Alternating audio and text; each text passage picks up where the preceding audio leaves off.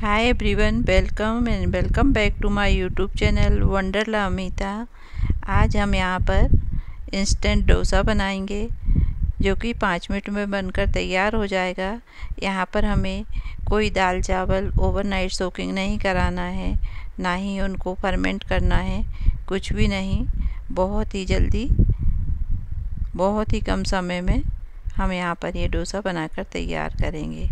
तो चलिए तो यहाँ पर हम एक जार ले लेंगे और जार में एक कप सूजी डालेंगे सूजी कोई सी भी चलेगी, मोटी, पतली, जो भी आपके पास है।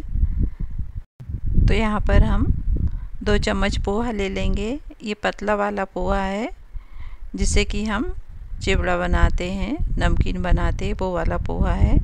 तो यहाँ पर मैंने दो चम्मच पोहा ले लिया है, इसे नागपुरी पोहा भी कहते हैं। एक कप मैंने यहाँ पर दही डाला है। दही, ताज़ा दही होगा तो ज़्यादा अच्छा है। यदि आपके पास खट्टा दही है तो आप थोड़ा इसे कम ही डालें। यहाँ पर मैंने एक इंच अदरक का टुकड़ा डाल दिया है स्वाद के लिए और अब हम इसको ग्राइंड कर लेंगे। तो मैंने यहाँ पर इसे ग्राइंड कर लिया है। देखिए इस तरह से। यहाँ पर मैंने इसमें पानी का बिल्कुल भी उपयोग नहीं किया है। हमको ये बैटर थोड़ा थिक ही चाहिए। तो पानी बिल्कुल भी ना डालें इसमें। अब हम इसको चलाकर देख लेते हैं। तो देखिए इस तरह से जैसे हम इडली का घोल बनाते हैं, बस इस तरह से ही हमको इसे रखना है। अब हम यहाँ पर चटनी बनाएँगे। तो मैंने ताज़ा, फ्रेश एक कटोरी नारियल ले लिया है। दो चम्मच यहाँ पर रोस्टेड मूंगफली है। दो चम्मच रोस्टेड चना दाल है। मैं पहले से ही इन चीज़ों को रोस्ट करके और एयर टाइट डब्बे में रख लेती हूँ।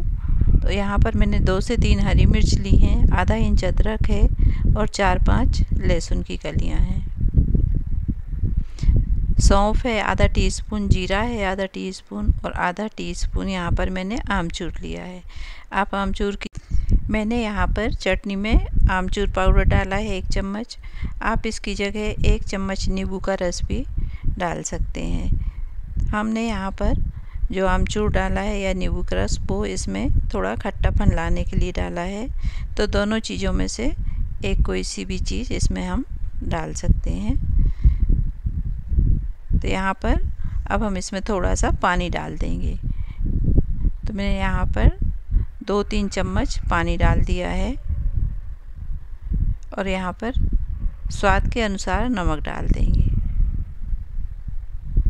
और अब हम इसको ग्राइंड कर लेंगे। तो देखिए यहाँ पर चटनी बनकर तैयार है। बहुत ही बढ़िया। अब हम इसको एक बाउल में निकाल लेंगे। तो मैंने यहाँ पर ये चटनी बाउल में ट्रांसफ़र कर ली है। अब हम इसमें एक तड़का लगाएँगे। आप बिना तड़के के भी इसे ऐसे ही खा सकते हैं, मगर तड़का लगाने से इसका स्वाद और भी बढ़ जाएगा। तो हम यहाँ पर इसमें राई और कड़ी पत्ते का तड़का लगाएँगे। तो यहाँ पर मैंने राई और कड़ी पत्ते और थोड़ी सी हींग डालकर इसमें तड़का लगा दिया है। तो यहाँ पर हमारी बहुत ही मज़ेदार चटनी बनकर तैयार है। अब हम इसको मिक्स कर देंगे, जिससे कि इसकी कड़ी पत्ते की खुशबू चटनी में अच्छे से मिक्स हो जाए। अब हम चलते हैं डोसा बनाने। तो यहाँ पर बैटर को चेक कर लेते हैं। यहाँ पर मैंने एक पाउच इनो का डाला है।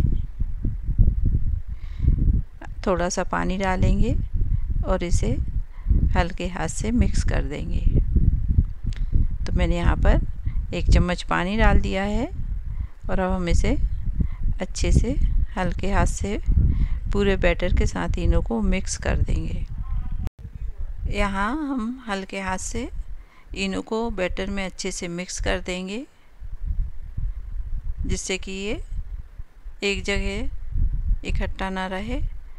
यहाँ पर मैंने थोड़ा सा इसमें नमक डाल दिया है और यहाँ पर मैंने पहले से ही पैन चढ़ा कर रखा है। तो इसमें हम दो तीन ड्रॉप ऑयल डालेंगे। बस इतने में हमारी रेसिपी बनकर तैयार हो जाएगी। तो इसे हम अच्छे से इस तरह से स्प्रिट कर देंगे। और अब हम एक बड़ी चम्मच भरकर इस पर डोसा बैटर डाल देंगे। तो यहाँ पर देखिए, इसे बिल्कुल भी हमें फैलाना नहीं है। ये अपने आप सेट हो जाएगा। तो इस तरह से देखिए, ये अपने आप सेट हो गया है और एकदम डोसे की तरह बन गया है। तो अब हमें इसे पाँच मिनट तक इसी तरह से सीखने देना है। देखिए कितना बढ़िया कलर आ गया है। और ये यहाँ पर बनकर तैयार है डोसा। तो हम इसे निकाल लेंगे। और अब दूसरा डोसा बनने के लिए डाल देंगे। तो फिर मैंने वही चम्मच भरकर और इस तरह से डाल दिया है और ये अपने आप सेट हो गया है। तो पाँच मिनट में बनकर तैयार हो जाता है ये डोसा। इसमें बहुत टाइम नहीं लगता है और बहुत ही टेस्टी डिश है। तो ये टोटल पाँच से सात मिनट में बनकर तैयार हो जाता है और आप इसे कभी भी बनाकर इंजॉय कर सकते हैं। तो यहाँ पर देखिए, डोसे में कितने अच्छे से पूरे डोसे में बबल्स आ गए हैं और ये बहुत ही सॉफ्ट डोसा बनकर यहाँ पर तैयार है। चलिए, अब हम यहाँ पर प्लेटिंग कर लेते हैं। तो मैंने दो तीन डोसा बन गए हैं और प्लेट लगा ली है। यहाँ पर मैंने दो चटनियाँ रखी हैं। एक कोकोनट की चटनी है, ताज़े कोकोनट की और एक चटनी लाल वाली है, जो कि मैंने आपसे इसकी रेसिपी पहले शेयर कर चुकी हूँ। ये दोनों ही चटनी डोसे के साथ बहुत ही अच्छी लगती हैं।